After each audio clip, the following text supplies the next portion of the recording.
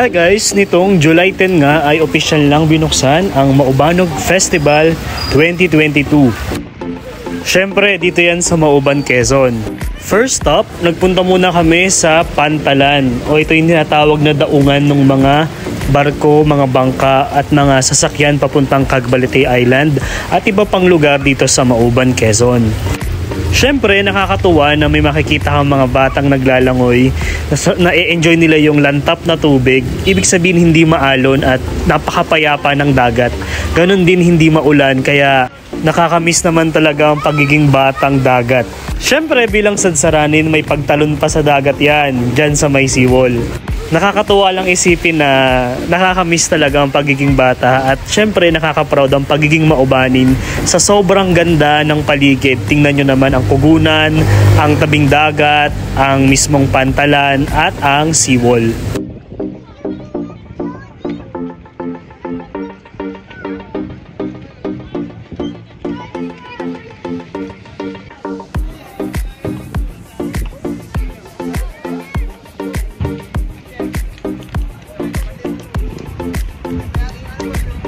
At syempre, pagkatapos namin pumasyal dito sa may pantalan, ito naman yung oras na pupunta naman kami sa mismong food park. Kasi nag-open na yung food park dito sa Mauban kung saan may inihahain sila na iba't ibang delicacy at syempre yung ibang pagkain na rin na typical nating kinakain. Pero ang maganda kasi dito, hindi na natin kailangan maghanap kung saan tayo kakain kasi mismong sa seawall nyo na makikita yung mga iba't ibang pagkain. So samahan nyo ako guys para makita nyo kung ano yung kayang i-offer dito sa food park natin dito sa Mauban, Quezon.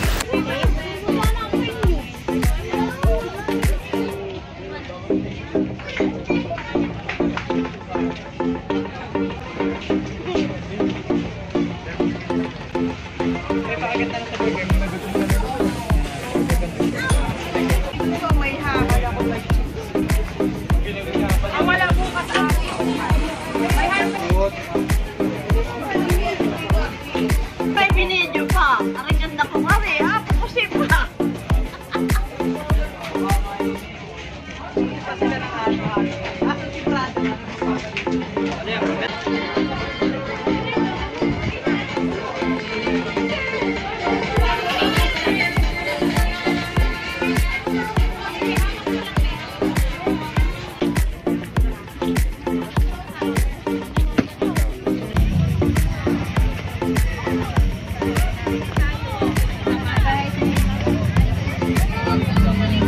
After nating pumunta sa Siwal is mag-iikot naman tayo para makita natin ang iba't ibang ganda ng palamuti ng bawat barangay dito sa bayan ng Mauban.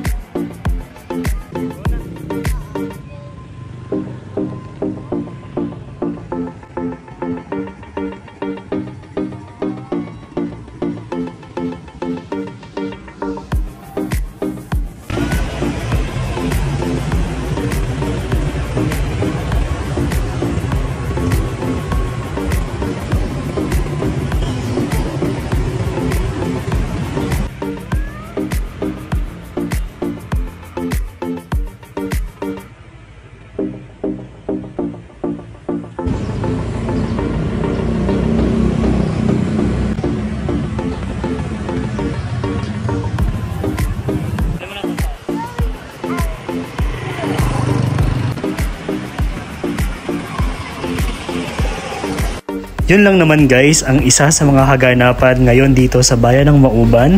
After ng dalawang taong pagkakakulong sa pandemic, eto na ulit tayo at isineselebrate ang piyesta.